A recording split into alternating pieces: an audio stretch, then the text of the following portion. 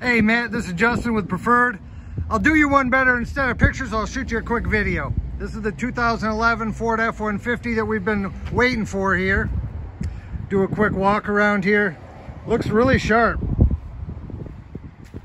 It's got the tonneau cover on it.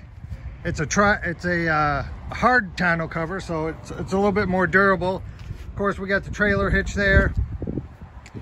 We'll come around here and then I'll just show you real quick inside. Got the big mirrors, power seats. Here's the heads up display, hands-free calling. Looks like it's got Bluetooth, CD player. It's got a USB, trailer brake control. Here's the interior. I'll shoot you this video, see what you think. Give me a call. This won't last long. Hope to hear from you soon.